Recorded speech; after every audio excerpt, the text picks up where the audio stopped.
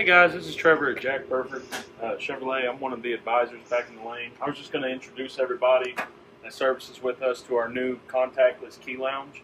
Um, we've upgraded from the old one uh, simply because this one is a little more thorough in getting information for servicing the vehicles. Uh, it's a little more secure than three bolts in the ground and a locked door.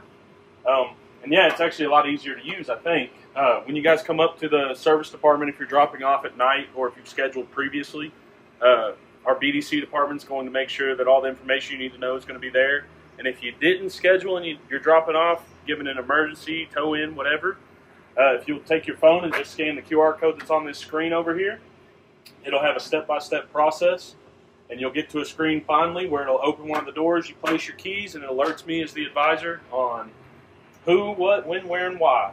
Um, it's pretty straightforward, and it'll make sure that we get your keys and it'll alert you that we've got your keys, and it keeps everybody on the on the grid and flowing as uh, as we go through service. So I appreciate you guys' time today. Thank you.